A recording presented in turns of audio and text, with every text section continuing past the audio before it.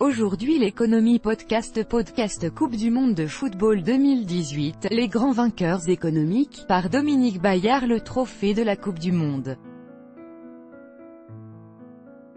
Patrick STOLLARZ, AFP le vainqueur de la Coupe du Monde 2018, la France, le pays hôte, la Russie, et les organisateurs de la compétition sont les principaux bénéficiaires des retombées économiques de cette coupe, mais à des degrés très divers.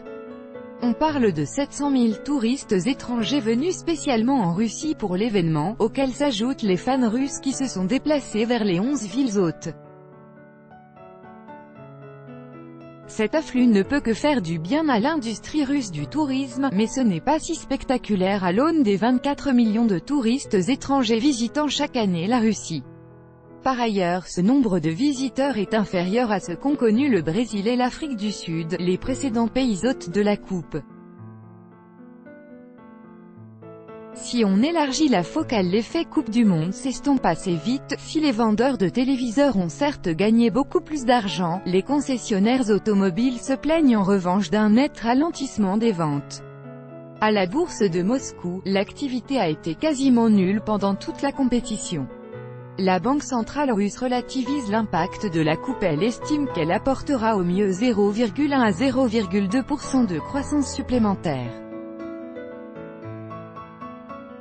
La tendance pour cette année étant de 1,5%, la Coupe du monde de football ne va pas améliorer le quotidien des Russes. Avec quand même un vrai gain de confort pour ceux qui empruntent les transports. Les 11 milliards de dollars dépensés dans les infrastructures ont servi à rénover 12 aéroports et 11 gares. Quant au stade, l'impact sera positif seulement si ces nouveaux équipements sont entretenus et utilisés par les villes, mais si les municipalités n'ont pas les moyens, ce sera une perte sèche. La deuxième étoile sur le maillot des Bleus va-t-elle doper la croissance française? 0,1% de croissance a calculé Ludovic Subran, le chef économiste de Euler Hermes. Une victoire cela donne confiance en soi, il y a une part d'irrationnel dans l'économie qui tient à la confiance en soi, à l'envie, à l'enthousiasme, a déclaré Bruno Le Maire, quand c'est le chef de Bercy qui le dit, on a envie d'y croire. Mais ce qui est vrai pour la Russie s'applique aussi à la France, c'est un effet éphémère. Les limonadiers, les brasseurs, les fabricants de chips ont gagné beaucoup d'argent, au détriment d'autres entreprises. Pas de quoi s'emballer. Même TF1, la chaîne diffuseur qui annonce 58 millions d'euros de recettes publicitaires ne rentabilisera pas les droits acquittés pour la diffusion des matchs.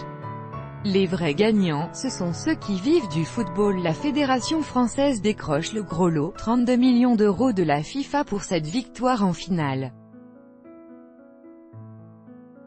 Un bonus pour cette petite entreprise qui a depuis longtemps résorbé la crise, son budget à 250 millions d'euros est déjà à l'équilibre.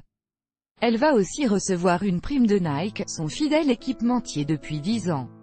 Nike est aussi l'un des grands gagnants de la compétition, puisqu'il habille les Français, les Croates et les Anglais. En France les maillots floqués de deux étoiles seraient déjà disponibles ce matin chez les distributeurs. Et puis un mot des gains des joueurs, chacun d'entre eux recevra une prime de 280 000 euros, Kylian Mbappé a promis de la verser à des associations, comme lui a recommandé son papa. Il peut se le permettre sa cote explose, il faudrait aujourd'hui débourser 400 millions d'euros pour l'arracher au PSG.